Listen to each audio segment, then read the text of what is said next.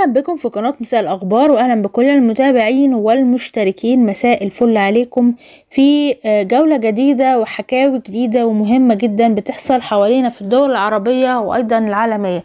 قبل ما نبدأ حابة أفكر الناس بالاشتراك في القناة وتفعيل الجرس ولو عجبهم الفيديو ما يبخلوش علينا باللايك والشير. النهارده معانا كذا خبر مهم كده لازم نتكلم عنه. آه في منها دول عربية وفيها غير عربية ولكن يهمنا دلوقتي موضوع آه الروسي. وصل الموضوع لغاية فين؟ لغاية دلوقتي وإيه التهديدات الجديدة على العالم بعد ما أمريكا رفعت فايدة الدولار تاني لخمسين نقطة أو نص نقطة زي ما بيقولوا ونص في المية وده هيتسبب في مشاكل كبيرة وارتفاع كبير جدا في الأسعار. الحقيقة روسيا النهاردة وجه أو بوتين بالتحديد وجه رسالة وتحذير للغرب بأنهم مستعدين لأي سيناريو محتمل إن كان ضرب نووي أو أي شيء. وبيوجه الرئيس الروسي فلاديمير بوتين تحذير يوم القيامة للغرب عندما يقود الاثنين احتفالات الذكرى السبعة والسبعين لانتصار الاتحاد السوفيتي على ألمانيا النازية. ده عبارة عن ذكرى مهمة جدا في روسيا. بقالهم سبعة وسبعين سنة بيعملوها من ساعة الحرب العالمية التانية وانتصارهم على ألمانيا. بيبقى كل مرة بيستعرضوا فيها القوات بتاعتهم والأسلحة بتاعتهم ولكن المرة دي الاستعراض هيبقى أقوى وأكبر عشان يوروا العالم كله إن روسيا قادرة على إيه. فبيقولوا إن بوتين بيتحدث إن هو بيتحدى العالم برغم العزلة الشديدة اللي فرضها عليه الغرب في الميدان الأحمر يعني قصده الكرemlin الخبر على فكرة منقول عن سكاي نيوز عشان تبقوا عارفين. هيستعرضوا فيها وزارة الدفاع الروسية قالت إن هيكون في الاستعراض طيارات. هتطير فوق كاتدرائية القديس باسيل هتشارك فيها مقاتلات أسرع من الصوت وقاذفات تو 160 الاستراتيجية كما سيضم لأول مرة من سنة 2010 طيارة القيادة ال 80 اللي بتعرف باسم يوم القيامة التي ستحمل كبار الضباط في حالة نشوب حرب نووية وتصممت الطيارة لتصبح مركز القيادة الطائر للرئيس الروسي في حالة حدوث مثل هذا السيناريو. وهي زاخرة بالتكنولوجيا ولكن تفاصيل ذلك على وجه التحديد بتعتبر من أسرار الدولة الروسية. فهم بيقولوا مهما حصل إحنا ثابتين في مكاننا ومش هنعمل الغلطة اللي إحنا غلطناها لما آه اتفاوضنا مع هتلر في قبل الحرب العالمية الثانية سنة 1941 وساعتها خسرنا كبيرة جد خسارتنا كانت خسارة كبيرة جدا ومات ناس كتير جدا. فاحنا مش هنكرر الخطأ ده تاني مع أوكرانيا. يعني من الواضح مش هيكون في مفاوضات جادة ما بين روسيا وأوكرانيا هما بيحاولوا يعملوا كده لكن للأسف ما فيش أي نتيجة واضحة وهم مش هيقبلوا التضحية أو التنازل عن شيء هم طالبينه.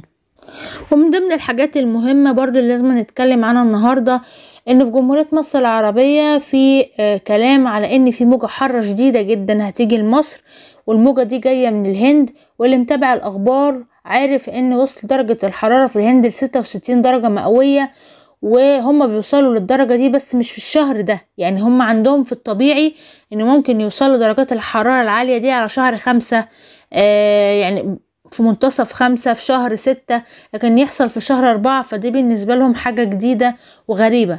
فالموجة دي للأسف هتجيلنا على مصر وهتكون الذروة يوم الأحد القادم وفي احتمالية كبيرة جدا إنها توصل درجات الحرارة في مصر من خمسة وأربعين لخمسين درجة مئوية ودي درجة حرارة كبيرة جدا ممكن نوصل لها. والخبر نازل على موقع صدى البلد نقلا عن متخصص في درجات الحرارة ومتخصص في الطقس وخبراء في الأرصاد قالوا احتمال كبير جدا إن الموجة الحارة دي اللي وصلت لها الهند إنها توصل لمصر ولكن مش بنفس درجة الحرارة ولكن هتكون أقل بكتير عنها.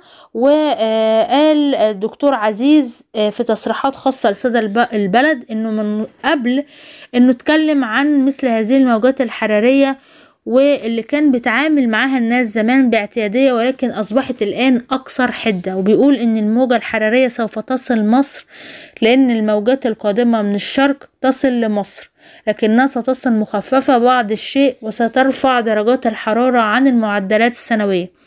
وأوضح الدكتور عزيز إذا كانت درجات الحرارة في الهند وصلت لستين ستصل لمصر من خمسة وأربعين لخمسين وهو أمر غير معتاد حيث أن درجات الحرارة القصوى بمصر في هذا الوقت من كل عام هي ستة وتلاتين. ده غير التغيرات المناخية الشديدة جدا اللي بدأت إنها تنتشر في كل العالم منها العاصفة الترابية اللي واجهت العراق وكانت صعبة جدا وأدت إلى وقوف الكثير من رحلات الطيران في مطار بغداد الدولي وكمان حالات من الاختناق الشديدة جدا. وبمناسبة إن إحنا بنتكلم عن دولة العراق الحبيب في حمى طالعة في الدولة للأسف نتج عنها 8 وفيات و40 إصابة بسبب الحمى النسفية في دولة العراق. هما بيقولوا إحنا متعودين على تلك الحمى ولكن السنة دي موضوع ارتفع جدا والأعداد كترت. وفي كلام إن هم خايفين إن الموضوع يوصل لوباء.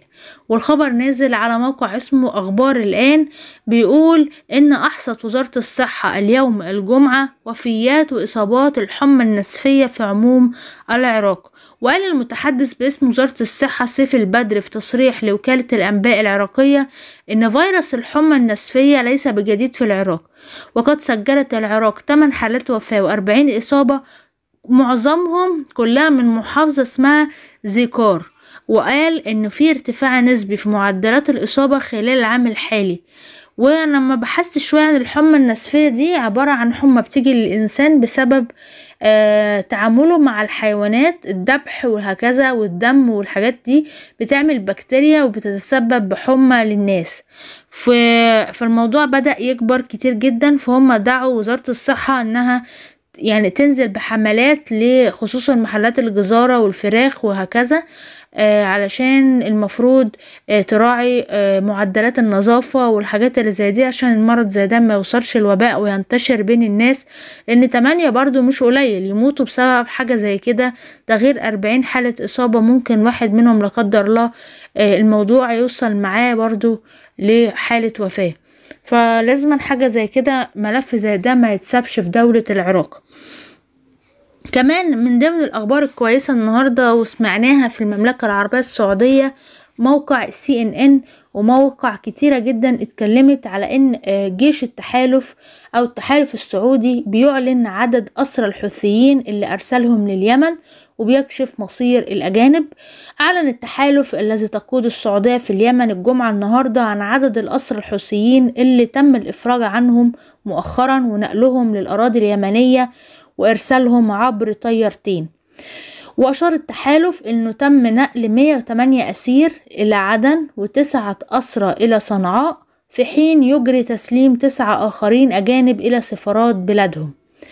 آه طبعا في ناس تبقى بتحارب مع اليمن جايين من دول تانية هم عددهم تسعة كل واحد فيهم هيرجع لسفارة بلده. ولفت التحالف أن أرسل سبعة وتلاتين أسير برا للاعتبارات إنسانية وبسبب قرب أماكن إقامتهم في اليمن من الحدود مع السعودية فالموضوع ما كانش محتاج قوي سفر. وكان قد أعلن التحالف عن مغادرة طيارتين لعدن وصنعاء لتسليم الأسرى ضمن مبادرة إنسانية قدمتها السعودية في اليمن. وده خبر كويس جدا إن في أسرى من اليمن رجعوا لدولتهم وخصوصا في العيد. فدي حاجة حقيقة نشكر عليها المملكة العربية السعودية. بالنسبة برضو عندنا في المغرب في حاجة غريبة حصلت في حصل إن هما وقفوا مؤيد لداعش خطط لعمل ارهابي هتقولوا لي طب يعني ده واحد يعني هيعمل إيه في المغرب؟ أو هيعمل إيه في تونس؟ ولا هيعمل إيه في الجزائر؟ موضوع الداعشيين بدأ يكتر بطريقة غريبة جدا في تلك الدول. وكل يوم بقينا نسمع عن أخبار عن إن كان ليهم خلايا نايمة في تلك الدول والحمد لله بمجهودات الأمن والمخابرات قدروا إن هم يقبضوا عليهم قبل تنفيذ مخططاتهم الإرهابية. فهم ليه قاصدين الدول دي بالذات وعايزين إيه منها وليه عايزين يعملوا حاجات زي كده؟ محدش عارف. القصد من الموضوع ده وخصوصا ظهورهم في دولة المغرب كتير جدا وساعات بنسمع في تونس برضو وساعات في الجزائر بس مش قوي. خبر نزل اهو على موقع العربية بيقول إن السلطات المغربية ألقت القبض على شخص موالي لتنظيم داعش الإرهابي. كان ناشط في مدينة اسمها بركان موجودة في شرق البلاد للاشتباه في تورطه في التحضير والإعداد لمشروع إرهابي بغرض المساس بالنظام العام. وأعلن مكتب محاربة الإرهاب في المغرب أن تشخيص هوية المشتبه فيه وكشف معالم مشروعه الإرهابي جرى انطلاقا من أبحاث وتحريات تقنية مشتركة مع مكتب التحقيقات الفيدرالي الأمريكي. يعني هم قدروا يقبضوا عليه بمشاركة من مكتب التحقيق الفيدرالي الأمريكي. سبحان الله مش عارفة إيه علاقة أمريكا برضو بالدول بتاعتنا وإن هم يحققوا كمان. هم آه يشكروا إن هم ساعدوا أجهزة الأمن في القبض عليه بس غريبة أوي إن هم يقبضوا عليه ويعرفوا مكانه. فالأمريكان متابعيننا قوي مركزين معانا ما شاء الله عليهم. وأشارت المعلومات الأولية في القضية إن الشخص الموقوف كان يتولى إدارة وتسيير مجموعة مغلقة على إحدى المنصات التواصلية أعتقد التليجرام وهو ده أكتر آب أو تطبيق بيتم استخدامه في الحاجات دي تتبنى أهداف ومشاريع متطرفة. الحمد لله إن هم قدروا إن هم يقبضوا على الخلية دي قبل ما تعمل أي عمل إرهابي داخل دولة المغرب. آه كمان من ضمن الأحداث اللي حصلت النهاردة وكنا لازم نتكلم عنها في موضوع في مصر أو موضوعين كانوا شاغلين الرأي العام والترند. يعني في الهرم في العيد للأسف حصل آه إن نزل فيديو عن تحرش آه أطفال حوالي أطفال يعتبروا أطفال سنهم من 12 ل 15 سنة نزلوا يتحرشوا بالأجانب والسياح اللي موجودين في الهرم. واللي طلع كان بيصور الفيديو كان مرشد سياحي صور الفيديو علشان الأمن يقدر يوصل للناس اللي بتضايق السياح وكان الفيديو الحقيقة ضايق ناس كتير وأثار غضب المصريين إن دول ضيوف على البلد ما ينفعش يتعاملوا بهذه المعاملة وخصوصا في أيام عيد الفطر. يعني إيه قلة الأدب دي والسفالة دي؟ بس الحمد لله الحكومة نزلت نظفت وكمان اتعاملت مع الباعة الجائلين والناس اللي بتعامل السياح وكان في حملة كبيرة جدا هناك ناحية الهرم. نتج عنها القبض على كذا مشتبه فيه والحاليا بيدوروا في الفيديو على الولاد اللي عملوا كده من خلال ظهورهم داخل الفيديو للقبض عليهم. بالرغم من الأجانب ما عملوش ولا محضر تحرش ولا أي حاجة ولكن الحكومة اتحركت من نفسها لأن حاجة زي كده شكلنا بيبقى وحش قوي قدام الأجانب في حاجة زي دي. ده حاجة. ثانيا حصلت حادثة النهاردة قطعت قلوب المصريين برضو. كان في عمارة في مدينة نصر حصل فيها حريق في شقة في الدور العاشر. حريق كان شديد جدا. اضطر الأب إنه بيحسب إن بالطريقة دي هينقذ ابنه وكان عنده أربع سنين. حضنه ونط من فوق العمارة. آه وللأسف الاتنين توفاهم الله. لكن الأم كان معاها بنتين وكانوا في بلكونة. في شرفة وبيستنجدوا بالناس. الحمد لله وصلت المطافي وقدروا إن هم يطلعوا الأم والبنتين بالسلامة. ولكن كان في بنت تانية عندها خمس سنين موجودة في الشقة توفاها الله من جراء استنشاق الدخان. هي ما اتحرقتش بس الدخان تسبب في حالة اختناق فماتت. فللأسف النهاردة الأسرة دي فقدت الأب وابن وبنت واللي قدروا ينقذوهم بنت وبنتين وأمهم. فربنا معاهم طبعا ويصبرهم. حادثة صعبة جدا وانتشرت في مواقع التواصل الاجتماعي برضو النهاردة. حبيت إن أنا أقول لكم إيه اللي بيحصل في العالم وحوالينا في كل الدول العربية وأيضا عشان نكون عارفين الدنيا ماشية إزاي. أشكركم يا جماعة. كان معاكم أختكم مريم. أتمنى الفيديو يكون عجبكم. ما تنسوش الاشتراك في القناة وتفعيل الجرس وتعملوا لايك وشير للفيديو عشان يوصل لكل الناس. وأشوفكم بخير على قناة مساء الأخبار.